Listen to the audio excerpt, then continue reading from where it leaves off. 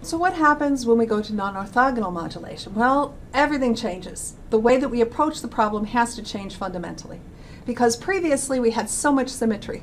Before we had equidistant symbols. Here, of course, the symbols are not necessarily equidistant, but even more importantly, because they're not equidistant, that means that the error probability is dominated by certain pairs. It's the nearest neighbor pairs of symbols that, that's going to dominate the, the symbol error rate. And because of that, it depends on which bits did we assign to those nearest neighbor symbols that is going to determine the performance of my system. Okay, so that's known as the um, bit to symbol mapping.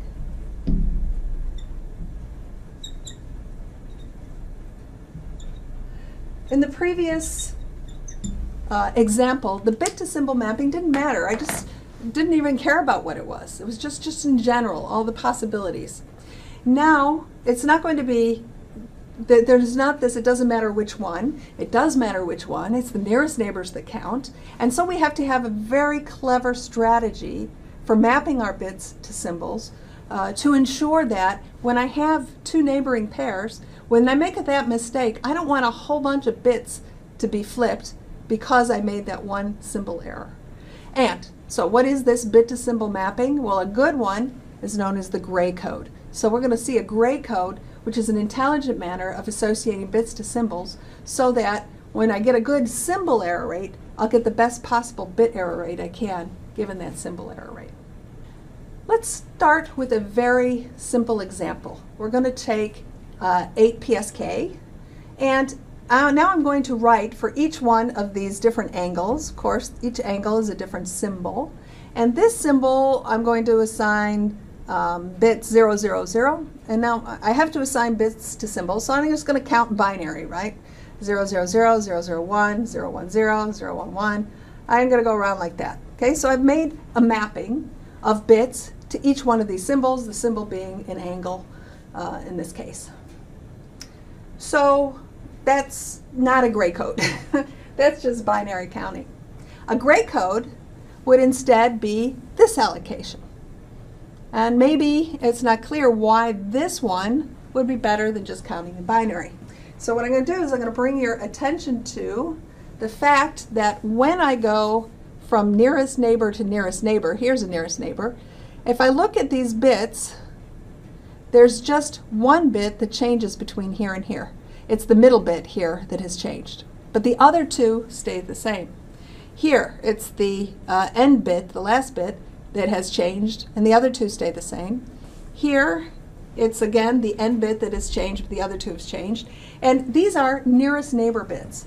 So in this allocation, what I've done is I've taken the um, objective of having only one bit change when I'm in a nearest neighbor. So why do I do that? Because if I'd done this binary choice, suppose I had just used the binary counting, suppose I make an, an error between these two nearest neighbors. Well, in this case, I only made one symbol error, but every single one of the bits is going to be flipped. Every one of is a bit error. So I have three bit errors in this one symbol error. So I certainly don't want that situation. What I would like is this situation where I assure that nearest neighbor pairs, where most of the errors are going to occur, have the minimum number of bits different, one. so there's only one bit that flips when I make a symbol error. I can do the same thing. That was an example at uh, 8PSK. I can do it for Q, uh, QPSK. You can see here that we're choosing it so that one bit is changed each time we look at a nearest neighbor. Opposite neighbors, yeah, sure, they can have both bits change. I don't care because that, that error almost never happens. It's dominated by these errors. I can do it with 16 QAM. So here is a, an allocation, and if you take the time to look across at the allocation, each nearest neighbor, uh, whether it's a nearest neighbor here, here, here, all the nearest neighbors are only going to have one bit that flips. Not true on the diagonals here. Yeah, sure, there'll be lots of uh, bits that are flipped there, but the nearest neighbors, no. Now, a gray code doesn't exist for all modulation formats, but you try and choose one where as many of the nearest neighbor pairs have as few possible of bits that flipped. And that's basically the idea of the gray code. So given that we're using gray coding, Now we know the, re- the uh, relationship between the probability of bit error and the probability of symbol error. And that is, it all depends on the number of bits per symbol.